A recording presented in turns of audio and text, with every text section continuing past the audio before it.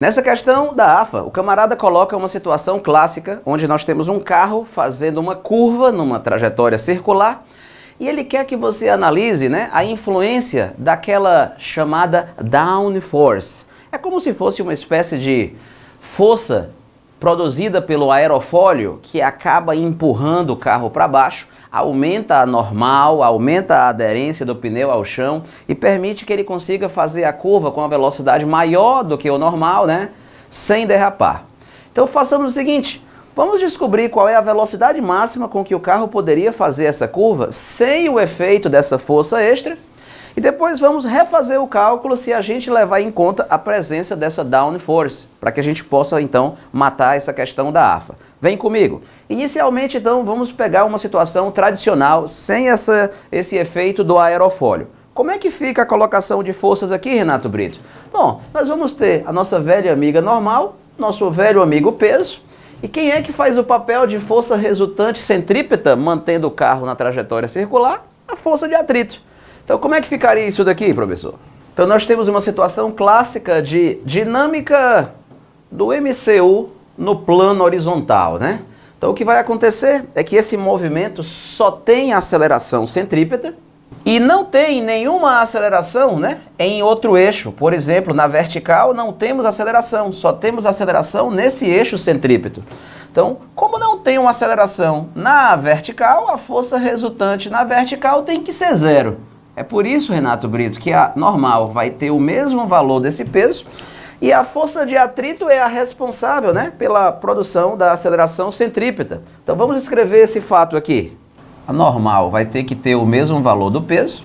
E a segunda lei de Newton na direção centrípeta fica como? A força resultante na direção centrípeta é sempre o que, professor? a, né, as forças para dentro da curva menos as forças para fora da curva. E pela segunda lei de Newton, isso é a massa vezes a aceleração centrípeta.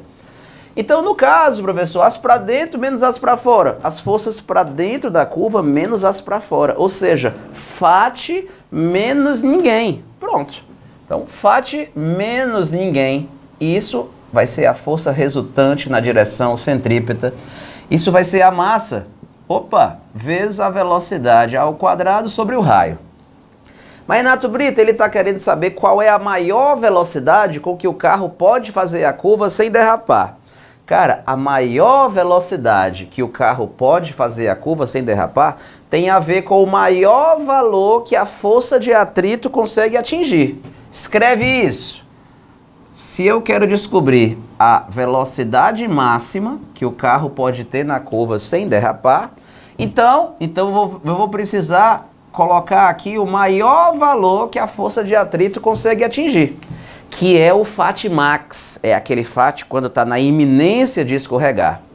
Então é por isso que eu vou substituir o FAT pelo maior valor que ela consegue atingir, né? Que é mi estático vezes a normal. Renato Brito, pois continua. Sendo que nesse caso a normal vai ter o mesmo valor do peso. Então vamos trocar aqui a normal por mg. Aí, né, eu corto a massa com a massa e vamos descobrir que a velocidade máxima que o carro consegue fazer a curva sem derrapamento, né, ó, seria então essa expressão. Então essa é a velocidade máxima permitida, né, que ele consegue fazer a curva sem derrapar. Isso sem levar em conta o efeito dessa downforce. Mas Renato Brito, mas se tivesse o efeito dela? Pronto. Aí é o que eu vou fazer agora. Vamos ver o que, que mudaria nessa resolução se você levasse em conta a presença dessa downforce. Ora, a downforce é a força que o, aero, né, que o aerofólio aplica, né, empurrando o carro de cima para baixo.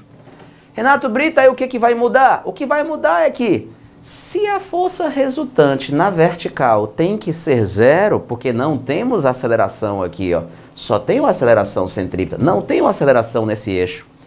A força resultante na vertical ó, tem que ser zero. Então eu vou ter que dizer que a soma das forças que apontam para baixo é igual à soma das forças que apontam para cima. Então você vai ver que o valor da normal não vai mais dar normal igual ao peso. Vai dar o quê? Vamos escrever a equação? Então agora vai ser com a downforce. Na vertical, Renato Brito, como é que vai ficar? A soma das forças para cima é igual à soma das para baixo. Ou seja, qual é o novo valor da normal? A normal vai ser igual ao peso mais a downforce. Ou seja, então esse é o novo valor da normal, né? Então a normal não é mais igual ao peso. Não, a normal não é mais igual ao peso. Então o que, que, vai, né, o que, que vai mudar nos meus cálculos? Essa normal não é simplesmente mg. Vamos trocar essa normal pelo novo valor dela para a gente ver qual vai ser a velocidade máxima permitida com a downforce. Então eu substituí a normal pelo novo valor dela com a presença dessa downforce e aí, amigo, passei para um lado, passei para o outro e descobri o, o valor da nova velocidade máxima permitida, que eu chamei de velinha, né? E aí, Renato Brito, o velinha agora com a presença da downforce, ó, tá dando essa expressão. Qual era a velocidade máxima sem a downforce? Lembra? Vou escrever aqui embaixo. Esse valor que eu apaguei agora há pouco, tinha sido esse daqui, ó. Então essa é a velocidade máxima permitida sem a downforce. Essa é a velocidade máxima permitida com a downforce. A questão quer que você faça um gráfico do quociente V' sobre V em função dessa distância D. Quer que você diga como é que ficaria o esboço desse gráfico.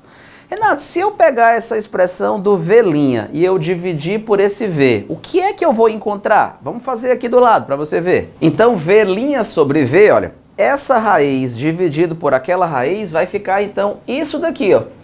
Peguei a primeira expressão e dividi pela segunda. Quando você divide, ó, o que é que você percebe? O coeficiente de atrito ó, cancela aqui embaixo, o raio cancela aqui embaixo. Então vai ficar esse parêntese dividido por mg. Deixa eu fazer então a próxima passagem para você ver como é que vai ficar. Então ficou mg mais d sobre mg e aí, na sequência, eu vou fazer o seguinte, ó. mg sobre mg é 1, mais d sobre mg. Veja como é que fica, então, a última expressão. Então, como eu tinha te falado, olha, mg sobre mg mais d sobre mg, essa parte aqui vale 1, mais d sobre mg. Bom, a questão está pedindo para que você diga como é que seria o gráfico desse quociente aqui, ó, em função de d. Então, se você acha essa expressão muito louca, tem, tem aí alguma dificuldade com matemática, é como se isso daqui fosse o y do gráfico. Esse quociente, então, professor, é como se fosse o y. Isso, é como se fosse o y.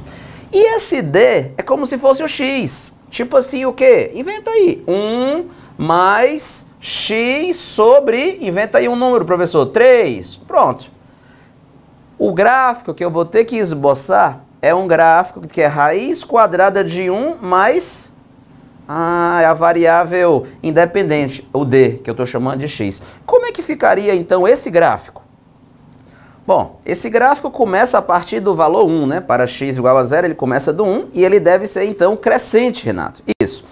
Então ele deve ser um gráfico que começa do 1 e vai crescendo. Então aqui está o número 1, ele começaria do 1 e ele tem que crescer. Mas Renato, como é que ele deve crescer? Será que vai ser uma reta? Bom, não vai ser uma reta porque essa função aqui não é do primeiro grau. O x está dentro de uma raiz quadrada, né? Vala então, professor, como é que é o gráfico, por exemplo, de uma função y é igual a raiz quadrada de x? Ela tem a concavidade virada para onde? Professor, sei lá, nem sou uma calculadora, como é que eu vou saber isso? Cara, o gráfico da função y é igual a x ao quadrado, ele não tem uma concavidade virada para cima? Essa função aqui não é a inversa dessa?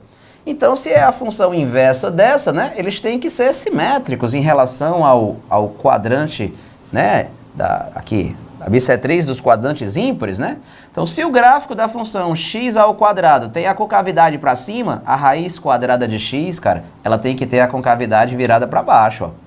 Ah, é, né? Esse gráfico aqui, dessa função, ela tem a concavidade virada para baixo. Então, se é raiz quadrada de alguma coisa com esse x, ó, isso daqui tem que ter a concavidade virada para baixo. Ou seja, não é uma reta. Não, não é uma reta. É crescente, mas com a concavidade virada para baixo. Ó. De modo que o gráfico que nós estamos procurando, ó, do quociente V' sobre V, que eu chamei de Y, em função de D, que eu chamei de X, é um gráfico assim, ó, com a concavidade voltada para baixo. Que, portanto, é a letra B que aparece, então, nessa questão da SPSEX, né? Então, finalizamos aqui, então, a resolução da questão que, portanto, é a letra B, né? A resposta, então, dessa questão 3 da prova AFA 2017 é a letra B de bola, é exatamente esse gráfico mostrado lá nas alternativas. Beleza? Então, finalizamos essa questãozinha da AFA. Você percebe que é uma questãozinha meio chata, né? Que realmente requer aí alguma habilidade. Se você tiver alguma dúvida, fala conosco aí na área VIP do assinante Veste Cursos aqui no Telegram, tá bom? O professor Renato Brito está lá pessoalmente para tirar suas dúvidas sete dias por semana, 24 horas por dia. É a Veste Cursos Pré-Militares, né? Fazendo um trabalho forte para que você tenha a melhor preparação para as escolas militares do Brasil. É aqui conosco, tá bom? Na Veste Cursos. Vamos então para a próxima questão.